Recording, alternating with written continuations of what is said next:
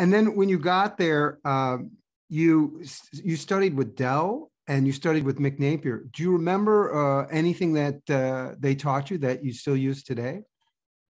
Well, I mean, with Mick, Mick was my very first teacher, and he was um, really fun, you know, and everybody loved him.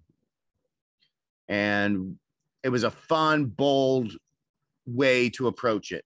Very, very exciting for someone in their, you know, 19 or 20 at the time. And then by the time I got to Del, I hadn't heard of IO.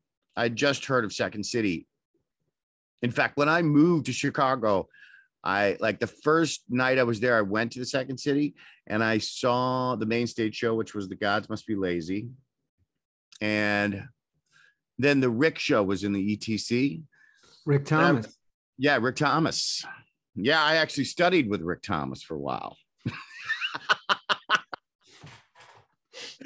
uh yeah, so I went up to Dave Pasquesi, who was on the stage at that time, and I said, Hey, I'm here to join you guys.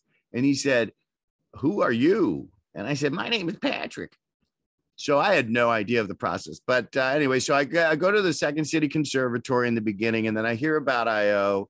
So Second City Conservatory is with Mick. IO, I end up in the Del, uh, the Charna Noah Del thing.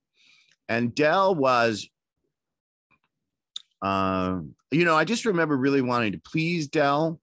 Now, when I teach, I find that his demand for truth and commitment especially that that sort of what was one of my big takeaways was commitment commitment commitment and truth is uh, something i like to emphasize when i teach.